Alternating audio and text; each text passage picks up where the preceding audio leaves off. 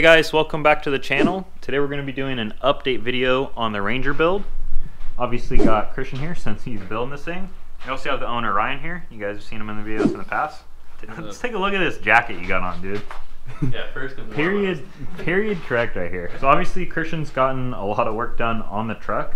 I think it's probably best if we walk through kind of in chronological order on how you put things onto it. Uh, so where'd you start from the last video?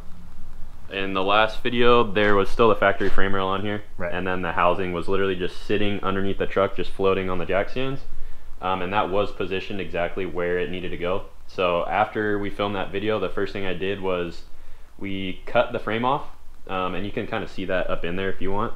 Um, we cut that off, and then got the pivot boxes tacked into place just to get everything, all the lower links on the truck, and then I can kind of start like working up from there. Um, but to get the pivot boxes into place, I had to cut the floor of the truck out. So just not the back wall as much as it is now, but just the section of the floor. I just rough cut it with a plasma cutter, Right. and all this stuff will obviously get cut out more. Um, I'll probably end up cutting the floor somewhere to about here for now, um, at least, and then this will get all paneled back in with nice tin work and then silicon bronze all back in, so it's all sealed off. But um, So the- when it comes to like uh, cutting the frame rail, you did that before the pivot boxes were on there. Yeah. How did you decide like where you wanted to cut those? So I knew basically like got the trailing arm just swung up to the frame when the frame was still there, when the axle was sitting there. Right. I knew where the kick was in the pivot box to like get it to come up over the frame. So I just took some measurements and then I knew kind of like where this this is the kick I'm talking about. So where this kicks over Right. on the the pivot box here, I knew that's obviously where I needed to cut the frame at. So it it just took a couple measurements and then just kind of laying things out. But I did like first try pretty much. It was we cut it right in the exact spot. So Sweet. And then you can see here, this is still the factory frame rail right here, and it's just cut off. for now. And then this new pivot box is welded on there, and then you're gonna add some more kind of support there. Yeah, absolutely. So this, like this right now is literally just to get the pivot box in place so I could get the link geometry on the truck. Um, but the frame, like if you, it's it's kind of hard to see with all this in the way and even from under the truck with the trailing arm on it. But the pivot box, the frame, the factory frame will basically be cut with the the taper of the pivot box, and then it'll all like the pivot box or the factory frame will get boxed in as well. Sweet. So this is something that Christian had designed in Fusion 360, kind of set up off of all your kind of anti-squat, anti-dive numbers that you wanted to achieve. Um, and then yeah, you made it here. This was all plasma, right? Yeah, And then all Th- press broke on those the, were 100% done in this garage. On sweet Designed, cut, bent, and then assembled and welded all here. garage built, baby. Yep. Sweet. So once those were on there, um, obviously the rear end was located first, and then you got that um, tacked on. Which, Yeah. And then it's kind of just assembling um, the upper links and trailing arms onto there. Yeah, so Um, once the trailing arms were on the housing, uh, the upper link mounts on the housing side were already there from Camburg. Right. So all I had to do was just connect the dots because the pivot box already are, already had the upper link mounts built into it. So once the angle of the rear end was set where I wanted it, measured for upper link lengths, and then built the upper links for it. Sweet. Um, so once that was positioned, I'm assuming the next step was like figuring out where bump is, so you can start with some of the structure. Yeah, so that that stuff I actually didn't like this whole back section I didn't start on first. I started with the interior cab cage because Okay. realistically Okay. to like start on this back wall I needed these tubes coming out of the cab. So that this was actually the first portion of it that I started on. Getting this dash tube in was the very first thing actually.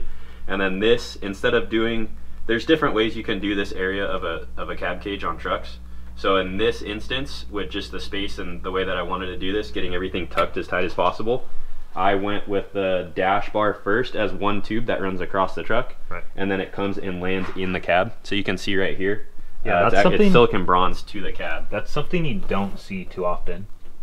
Um, so th- to me, like the only downside to doing it this way is you're not able to drop the cage. So that's the Right. only downside to this. Like actually, especially in this instance where I welded it directly to the to the cab, Mm-hmm. um, but I wanted that nice like tight look because I doing it this way I do not. I've seen them where obviously none of this is going to be seen when the dash is off or on, but with the dash off, I've seen it where this tube will run across the truck and then it's just open ended tube yeah, I see. and it's just like to me that is not cool like i don't like that so Well- this like i spent the time to get this to fit very nice to the cab um, on both sides and then it's just silicon bronze straight to the cab so it's adding structures sideways too it might make it a little bit difficult like for if for whatever reason he does roll his truck at some point and stuff gets smashed, like this section of the truck may be difficult to, to work around. Um, but at that point, like all the there's so much more Yeah. to that at that That- point that it doesn't even matter. The cool thing with doing that too is you can start with the dash tube. So you Yeah. literally just get that fit, tack it in, and then it also makes it easy because typically like this tube coming all the way up and out um, to the back of the cage is one piece. It's hard to make. and they get yeah to get all the bends perfect and to get it tucked as much as you want it to, it, it can be kind of difficult. So yeah, there there's two points to that. So with the with making the dash tube first, like it was this was making it simpler as far as getting two tubes, making this tube easier to get in for one, but also to get this tucked and this tucked the way that I wanted it to be. Uh, like the tube would have so many crazy like there Yeah. basically it would be impossible to do it to get it this tight um, as one single piece going all the way through the truck. And with the Ranger too, it's already tight, so you want as much room Yeah. as possible. So just getting those tubes tucked to the sheet metal as close as possible is the way to go. Yeah, that was my biggest thing in this specific truck being a regular cab. I wanted the absolute most room that you could get in this thing, even with the cage in it. And this is all two inch 120 wall mains. Yep. So two inch tube is already big as it is. And then fitting it in a, a regular cab Ranger, like that's just adding to a, like, you could have a bunch of problems with that. So Yeah. getting this tucked as tight as possible was ideal for me, um, just because I wanted him to be comfortable, especially with a clutch pedal on his side. Yeah, you gotta. Have I room. wanted there to be plenty of space. You're not touching tubes. You're not leaning against the tube, and that we'll talk about this in a second too. But that's why the B pillar is Right. external in this thing. So Sweet. So you started going on the cage on the inside. Um, you still need to add some of the stringer tubes Yeah. on top. I, I just all I needed was just the the main structure in here to be able to get this tube out of the truck. Realistically, is what it was, so I could start on the back wall. But the only reason the stringer, like these stringer tubes in the ceiling, aren't in yet is because I was waiting for him to get seats, which we'll show in this video too, since we have them. Um, I was waiting for him to get his seats so I could make sure there's enough head clearance because we were kind of, um, kind of worried about these pivot boxes being as high as they are in the like truck pushing the seat up. yeah, pushing the seat up too high, and then I was undecided on if I was gonna run inch and three quarter or inch and a half or maybe even inch and a inch and um, three quarter, depending on what like the head clearance was. Mhm. Um, but everything works out. But there's plenty of head headroom in this truck, so Sweet. So obviously Dash is out to accomplish all that. Um, you got the column in there. You guys were talking about running kind of a different column now. Yeah, one right? of the ididit ones. Okay. Like one of the shorty ones, like Okay. the stubby. Is that something that you can buy on like CarTech or like where you guys? straight from ididit. Yeah, I think Okay. Summit sells them too. yeah. Gotcha. But yeah, like ididit.com has all the options and stuff. So And the only A ton of the only reason we were thinking about doing that is because for one, this column doesn't it doesn't have tilt to it. Mm. So that doesn't like the Ranger, the RF 150 has tilt that. factory. I didn't- I didn't realize These that. Rangers they don't have tilt in these years, so it's fixed position, and then it's also way close to you. So we need ideally we need the steering wheel to come a little bit further away I from mean, him. you can tell just by looking at it. Yeah, I mean, well, obviously picture it's gnarlier and because him- there's when no dash. when we but- had the seat in here too, the seat when you have that door open and you look through the door, Yeah. the seat is in the door. Like it's Yeah. it's not like tucked to the cab. It's in the door. So like you're when he's sitting in it, it looks very comfortable. But the the getting in and out and him just like the comfort was just not there. Like this right here is like it's not in my way all the like that bad, but like with my knees, you know.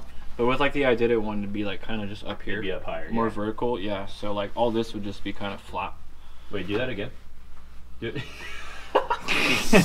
Man. Sweet. So once that started going, you, you got the tubes poked out of the back, drilled all the holes, and got that all figured out. What was the process from there? So once these are out of here, uh, I got this secondary like kind of inline tube, basically the belt line tube in here. Okay. Um, with this B pillar, like What we were was- just talking hold on. about. Once how? Obviously, you didn't do this first, so Yeah, it was. What do, oh, well, how'd you get in there? What was holding it up? I had pi- the pipe stands holding Oh, it. I gotcha. Okay. So the the back wall is still there. Um, so this B pillar, just like a little backstory, this B pillar is external. So the top portion of it is outside of the cab, whereas normally on pre-runners or any off-road truck, the B pillar is inside of the truck. But again, this being a regular cab, I wanted him to be as comfortable as possible. I knew before the seats were already leaning up against the back window, so having a bunch of two-inch tubes like in the cab back there, your head is just absolutely way too close in my opinion. So we brought the top of the B pillar is outside of the truck, and then the bottom of the B pillar, basically from the belt line down, is all raked back in. So you can kind of get like a side profile on it. Yeah. You can see it tapers back into the cab of the truck. Okay. So, but yeah, I started with with this belt line tube basically first, just ran it across the truck and held it up with pipe stands before I actually had the uh, the back wall cut out, and then ran these these tubes down to it, ran the tube across, ran these tubes down, got all this structure in, and then at that point, like it could hold itself. So I pulled the pipe stands out, cut the back of the back wall out, and then this bottom tube was um, there as well. So So yeah, so you, you have your main junction kind of on the pivot box here, and then a secondary one outside, and that's mainly for the tube that's gonna go like on the inside of the truck, right? yes, that runs along the floor. Right. So that one will come um, from the A pillar up here, go along the floor line, and then tuck back up into this joint right here. Yeah, so all this this whole block of just factory cab right here on both sides, this is all getting cut out too. I just haven't cut it out yet because um, obviously before there like w- when we cut the frame off, the body mount got cut out of the truck too. So the only thing holding the back of this cab up is the pipe stands underneath the cab on the pinch weld. Right. Um, and this structure right here, like you can't see it, but it's all a whole boxed in structure that's holding that pit that jack stand up. So if I cut this section out now, I can cut it out now because the cage is in. But if I cut this out before, nothing would be holding the back of this truck and it'd just fall. So this will all get cut out, the tube will run down, and then all the floor will be rebuilt back into all the, the tube work. Right. So once you had those main tubes in, it was kind of just connecting all the dots with a bunch of stringer tubes in Yeah. there. Yeah, I it's just like noticed, once- I didn't see this before. You actually poke this out right here. Yeah, so those it's it's kind of weird. Idea like this tube is it's not low because these outside tubes are tight is is tucked as possible inside of the cab as, as they can Like be. you, you can't see. You can't you see can't any see any. You can't even notice it from the side view. So it's it's out tucked as tight as it can be. But because this roof is crowned this way and it's also crowned this way, the cen- very center of the cab is the highest point. So like you can like the cr- being having it crowned like this, this tube is obviously going to be when it's tucked tight like how it is. Yeah. It's going to come up away from this tube. Yeah, you got to dive it back down. Exactly. Yeah. Sure. So obviously the third brake light, the factory third brake light hole is here. This is gonna. It got cut bigger, obviously, for the tube, and then there will be another stringer tube here and another stringer tube here. So, and then once those two tubes are in and everything's welded, I can make a patch panel for this and silicon bronze it all back in. Yeah. Sweet.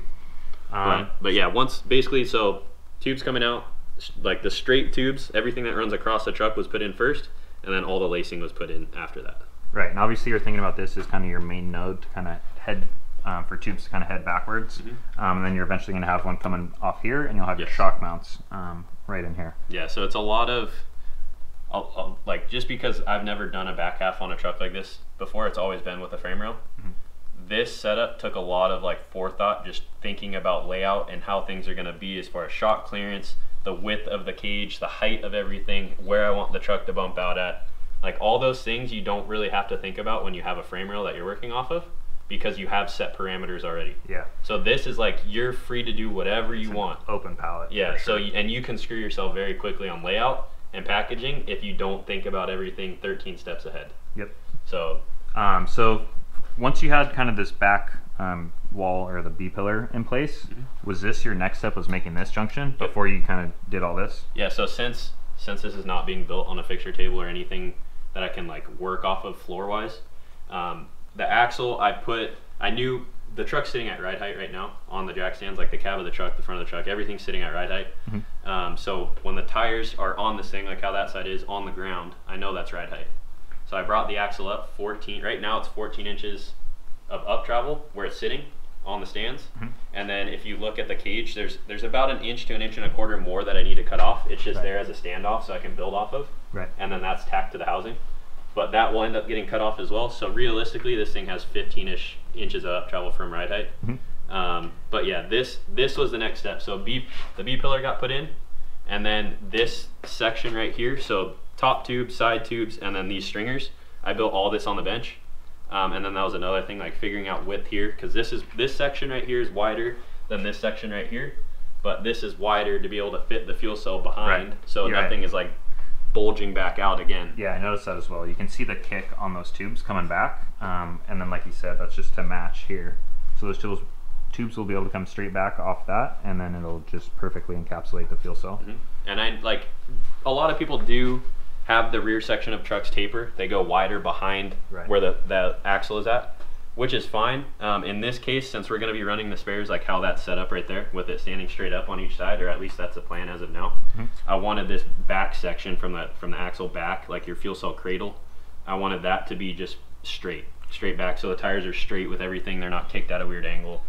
One thing I also noticed is you have this kind of we'll call this. what do you want to call this? Yeah, it's it's kicked off at an angle. What was your reasoning behind that? With the bump stop, landing in the same plane. The bump stop's gonna be landed off this tube. You want your bump stop to be angled, they're at an angle lean forward because your axle swinging in an arc. So if your bump stop's straight up and down and your axle swinging in an arc hitting it, when the bump stop is striking the pad on the axle, it's scrubbing across the bump stop. Right. So in this case, like the angle of this, it'll follow, like when the bump stop's sitting there and the axle swings up to hit the bump stop, it's landing in the same spot and it's not scrubbing It's like crazy. more in line with the motion of it. Yes. Yep. Sweet.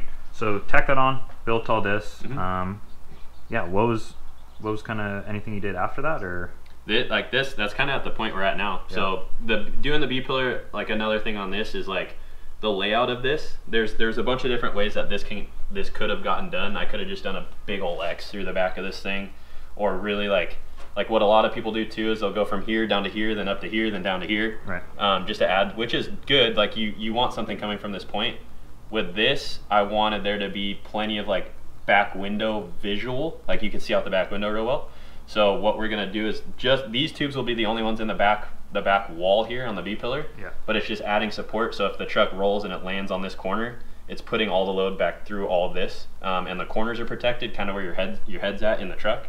And then in the center, it'll come from here and then split off, and each tube will land in this junction here. Okay. And then obviously the miters coming from here will also land here Yeah. as well. That was just thinking about. That's gonna look really good. Yeah. So it's it's it, it would have been one of those things like regardless something has to come from that center. Yeah. Or else all these tubes in the roof are all just like a dead. yeah, you're just, a- well, you're just they're a bunch of dead you're tubes. Putting this tube just into bending if you land. on exactly. Yeah. So if you land on the roof, you flop this thing front top like end over end and land on the roof. It's pushing everything down in which is not good. So Right. Everything no dead tubes. I don't want dead tubes on Yeah. everything. So the other thing, you said you got 14 inches of up travel from uh, ride height. Mhm. Do you know how much clearance that gives you on the body or the frame rails um, when this I is don't know an exact up? measurement, but I my eye meter is working. So Your It's good. ocular meter. Yeah. yeah, when you like a lot of this stuff is like when it comes to that, it's literally just visual, like looking at it and being like, okay, it's gonna work. Yeah. Um, I know from the bottom of the tire to the bottom of the frame rail, which is the lowest point on this thing, Right. there's plenty of room. Yeah. At least like easily five to six inches. Yeah. Just looking at it right now, you can. And this is on a somewhere in there. 35, so this is on a small tire, Yeah. which is what the truck's gonna be ran on now. I'm setting everything up on this truck to run at least a 37. So at some point it's going to a 37. That ground clearance will be even more. Like everything will end up being bigger. Hmm. It's also your welds have come a long way throughout the They look pretty bad or what? yeah. I don't know if I'd want that on my truck personally. Big old caterpillars. Man, no. But your your weld progression throughout the years is very evident. It- Everything looks really good on this truck. Thank you. Yeah, it's a lot of just literally doing it. Like there, that everybody asks me like, oh, what are your settings for welding? What like how are you doing that? What's your technique? It's like my technique is literally just doing it. I've tried every single cursive V, C, U, Z, whatever kind of pattern you want to do. It's literally just it's it comes naturally with time when like just from experience of sitting there with the hood on and welding. Like Right. you you figure out what works specifically for you, and then setting wise like everybody welds differently at a different speed at a different height from the gun. Like everything changes. Everyone's So- got their own preference. For Exactly, Sure. You yeah. just kind of got to figure it out. Um, cool. So with that out of the way, um, fuel cell is roughly mocked up Mhm. um, at U-line height. You know, got to get that that special. That T can height. dude. yeah, baby. Um, so this is kind of just um, roughed out, and then like you're saying, tires, at least for the plan right now, are going to go um, one on each side of the fuel cell. Yeah. One thing to note as well is the last video we filmed on this. What was it last weekend or the weekend before? It's Two been- weeks ago. It's been two weeks, and Christian's hammered out all this stuff. So this truck's coming together really quick. Um, Don't jinx it, dude. man, I'm trying not to, but um, yeah, super impressive. But should we check out the seats? Yeah. Like Christmas morning, dude. Not for me, but And you got the 492 up on Bill, just sitting outside. Man, it's fine. It's got a carport. man. Dark arch juice. Dark. No, you're dude. Man, I don't even want to touch that, dude. That's kind That's of the musty. start of I'm, it, man. That's- I'm good off that, but uh, Yeah, this is this Well, is this guy's deal. You well, can it knock it works. what? Yeah, what do we got going with these seats here? You got some PRP deltas. Nice. Um, so what made you kind of want to go with the seat? Uh, we were at Off Road Expo and I just went to PRP's booth. Found I think it was the Alphas and the Deltas. Well, you said, do you, do you just sit in those two or all of them? Uh, well, the other ones seemed like they were all like suspension seats. Oh, Then the yeah, other ones got like the gnarly helmet bolsters. Right. So uh, It's kind of a good yeah, they're in next to each other, and I just I like this one better, honestly. But they're for a smaller size vehicle. Right. Yeah, they're So- smaller than the Alpha. It ended up working Okay. out. Yeah. So have you, you guys already mocked him up in the truck? Mhm. Cool. Got him, yeah, sitting in it, like seat position, figured out, like all that stuff is good. Yeah, just nice hard shelled seat. Yeah, Um, hard shell. Uh, went with like a, it's called a beige. Honestly, it looked like just a little bit darker online, but you know it's all good. yeah, these are super nice. I was gonna do black, but No, I, I like the contrast. beige. The honestly. beige, I think Yeah. the beige with, With the, the Cayman blue? yeah, with the blue looks good. and then we got the Gabron Fibre Yeah, on the back. yeah. man, big baller, dude. Yeah, I know. Yeah, You'll never see that. But yeah, they're cool. I like that it's removable. You know, if windows pads windows down. Yeah, just just take them home and dust Yeah. them off. And, Clean it off real quick. and a little pocket. It's all like we were Mm, when we were thinking about these seats too. We were going back and forth. I wanted to do suede on these, but he really wanted to do the um, Like tweed. the tweed on Yeah, these, just like and it it yeah it, it 100% makes sense because like he was saying, if he's cruising windows down and the whole interior gets dusty in this thing, suede is an absolute pain in the ass to deal with, like cleaning up cleanup wise. Whereas this, you could blow these things out and they look brand new, just like our seats do. So. Cool. Should we just throw it in there to see what it kind of looks like? I'm kind of curious. Yeah. Cool. Yeah, talk about them. Oh Uh, man. Yeah, they fit good. uh, no, from a side profile, the seat honestly looks small in there. It that's what I'm saying. Yeah, they look smaller. Like, and you, you guys were saying you want it really close to the back window, so like this is approximately where that seat's gonna be Very located. close, yeah. Yeah. Um, and like, I mean, depending on how the dash is designed, you should have plenty of legroom for a Ranger because as the, well. the dash before like protruded quite a bit. The dash that'll be in it once I make it will be actually like A little bit forward. towards the the windshield quite a bit. Nice. Yeah, I think those are gonna work, work good. The one thing that you always see with Rangers too is the seats are touching. Well, that in we were center, talking about that too. Like, and it looks like you're gonna, we gonna had have a gap. when he He's was gonna have when more we, room. Yeah. Yeah, Yeah. when we test fit him in the driver's seat, we put this one in here, hmm and like there's at least eight inches between the seats. Yeah, that's a lot. Usually they're like brushing against each other. Yeah. Sweet. So cool. Well, with that in there, um, is there anything else you really want to talk about as far as the current That's- state as of far affairs? as like progression goes, that's where we're at right now. That's going to wrap it up for this video, though. If you guys liked it, go down and hit the like button. We got 500 likes on the last SolidWorks video. Christian says we should shoot for 650 on this one. So go down there, hit the like button. Also, comment, subscribe. We'll see you in the next one. Peace.